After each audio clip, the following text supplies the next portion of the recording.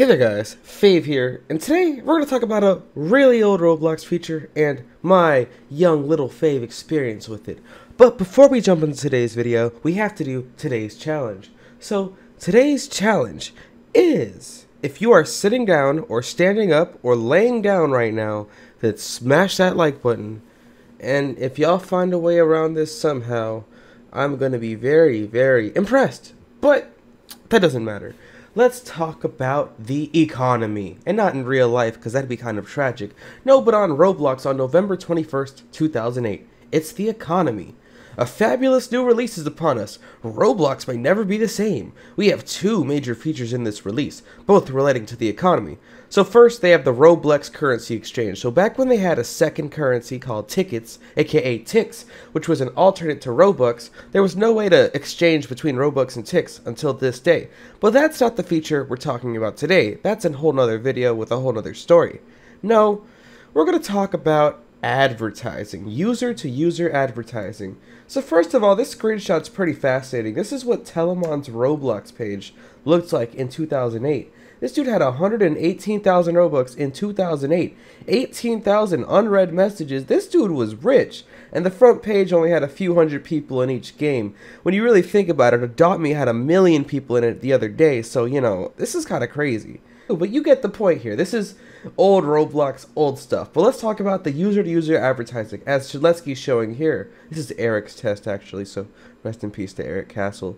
But it says, experience the legend, plastic men, iron blades, sword fights on the heights 4, Roblox. So this may have been the very first ad ever on Roblox. Now while ads aren't as important in the modern day Roblox, like for example, if I'm to go on Roblox, you can see these ads on the side. I mean, you see this guy saying new update with a bunch of pictures of someone having 5,000 Robux. Secret Service, protect the president. I mean, you know, I see the same ads all the time. People trying to get like Flamingo to play a game or someone advertising their clothing group or their war group or their home store, whatever it is. People always advertise so they can get people in their game. That makes sense. But we have to take it all the way back to when this feature came out. So, user to user advertising is another feature that we have been planning for over a year. However, we never told you guys about it, so you didn't constantly bug us. Anyway, they're explaining how to advertise the stuff, and but anyway, let's go ahead and jump into my old ads. What I was doing back then, right? So, let's, without further ado, you get to see Little Fave and his big ads. So, let's scroll down and let's go ahead and go to 2009. We have Want to live in Bikini Bottom without lag and more? A random picture of SpongeBob.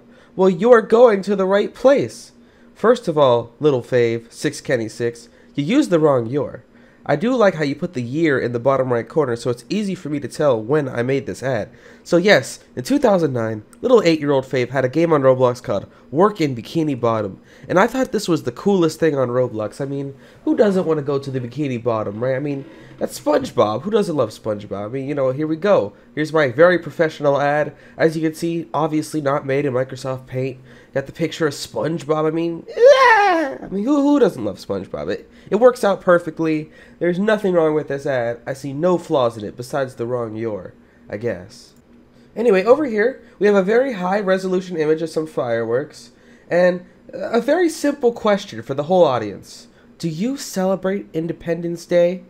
Now, first of all, this is a very patriotic ad. As you can see, I clearly put 50 stars in the corner, and the stripes, I don't know, I you know, they're there, I promise. And then in a very hard to read font, it says, then come here. So I guess I was celebrating the 4th of July on Roblox. Well, that's cool, I guess. We have this ad. it says, do not click. That is clever. Even 8-year-old Fave was trying to bait the kids in by telling them not to click. So yeah, do not click.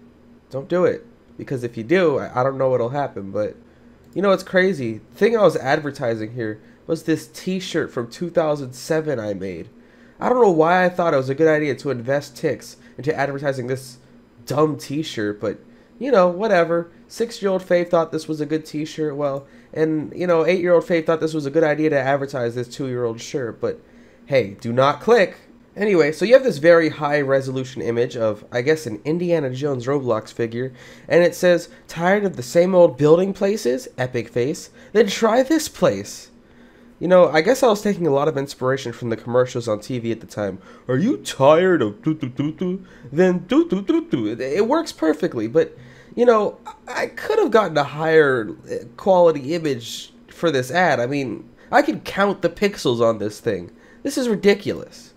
Over here, you have once again another very high quality image of a cool looking Robloxian, and it says, Want to be in my vids? Now it's your chance today. Just take a short interview.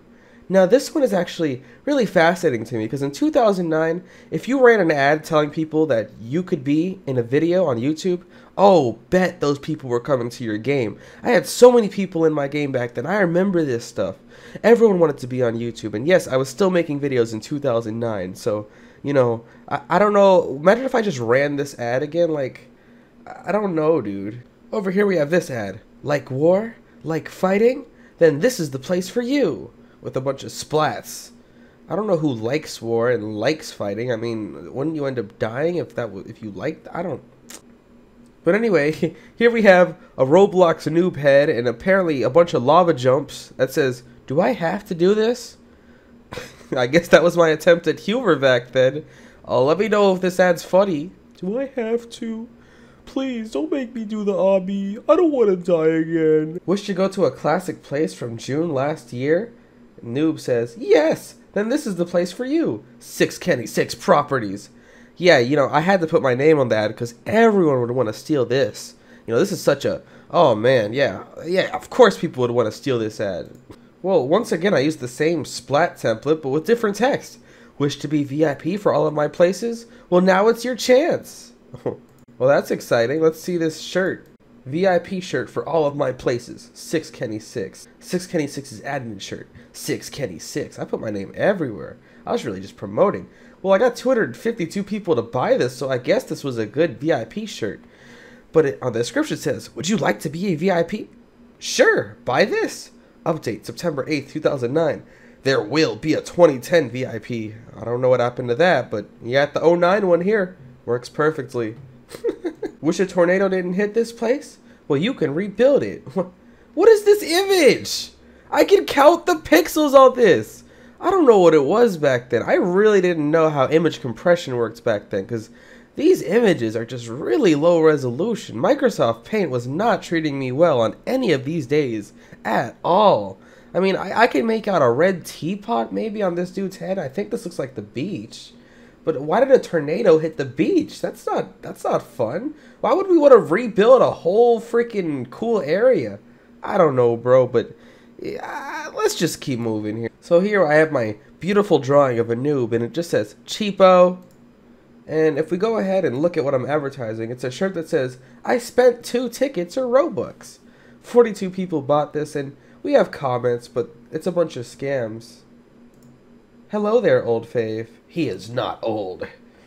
Copied ad. It's two tickets. And the funniest part about this ad is the ad says cheapo, and a guy named Cheapo commented saying, My name's on the ad.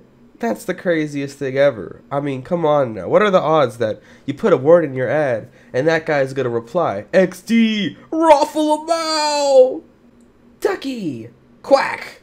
Ad made by Six Kenny Six you know, I don't know. The, the quality level of these ads, I just, I don't know how to feel about this. I mean, I feel like this is deeper art on a very deep level. I mean, I was, you know, you go to a museum and you see things like the Mona Lisa or the Starry Night, but here you have what truly is the epitome of just art. Okay, you have, look at the smile on the noob's face. It, it expresses so many feelings of of modern day angst and the way the society was progressing in the year of 2009. And you have the duck here, the beak being a right triangle having a 90 degree angle in this corner truly says a lot about the duck. The way it just quacks at the ducky man.